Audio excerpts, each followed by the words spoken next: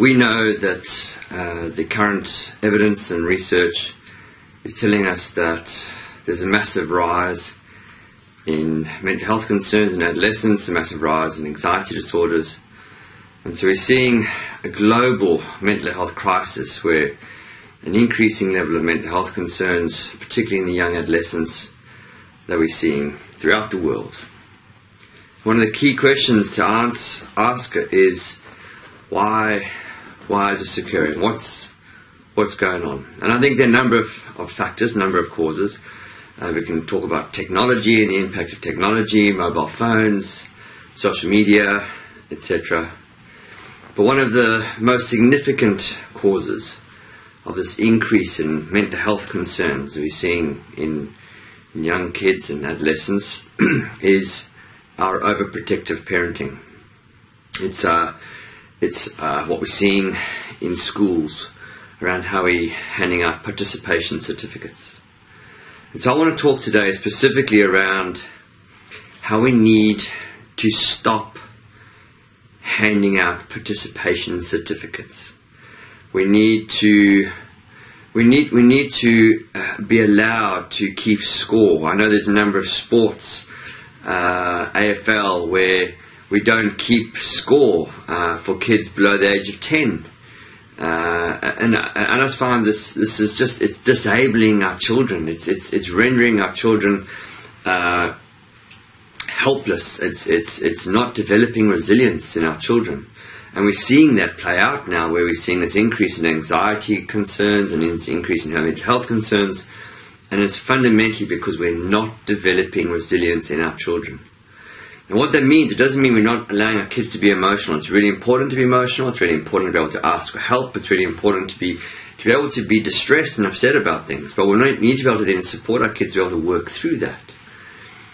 And we I fundamentally believe that we need to be getting better uh, in both in parents and our schools in our schools in, in in recognizing kids that are working hard.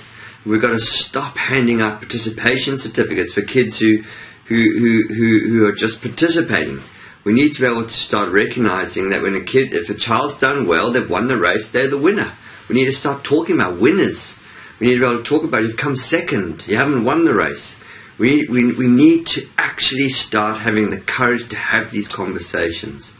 Whether there's some sports like diving, like netball, uh, athletics, where there's very clearly a winner and a loser. Uh, we talk about nippers. Uh, nippers are a fantastic example where there's a score. There's you, you, you, win the race, you don't win the race. In flags, you get the flag, you don't get the flag. And I don't see any evidence where it's demonstrated that that's harmful for our children. In fact, I think there's more and more evidence gathering that, in fact, by actually not keeping score, by trying to protect our children from the distress that they might experience when they lose or come second, that's far more harmful in the long term than actually allowing our children to experience failure, allowing our children to experience that they haven't won the race. We need to, as teachers and schools, uh, and, and parents start actually developing resilience in our children, assisting our children to be able to deal with the negative emotions that come with not winning. That, that need to teach our children about how to deal with frustration and with distress. It's far more important to be able to allow our children to experience the negative emotions and learn how to deal with those because that's going to set them up for future success as adults in, in life to come. If we simply try and remove those negative emotions from events, hoping that somehow that's going to set them up for future success and well-being, it is it's a false that's a false perspective. There's no evidence to support that. So my challenge to to parents, to to teachers, to schools is let's stop handing out participation certificates. Let's let's stop not keeping score. Uh, and, I'm, and those sports out there that are not keeping score, I challenge you. Let, let's actually change it. Let's start keeping score. Let's support our kids to be able to be better. Because there's a sense of achievement, there's a sense of growth, there's a sense of setting a goal and wanting to achieve the goal that comes from that. So my challenge to, to schools, to teachers, to parents is, is let's actually let's start building resilience in our children. Let's start talking about winning and losing. Let's start talking about first place, second place, third place. Let's start actually keeping score on on how they're going. My my uh, one of my daughters uh, is a is a springboard diver, and it's extraordinary watching her her diving. She's doing an amazing job at her diving. What I love about diving is two things. First of all, when in a competition, you get scored on a scale of 0 to 10.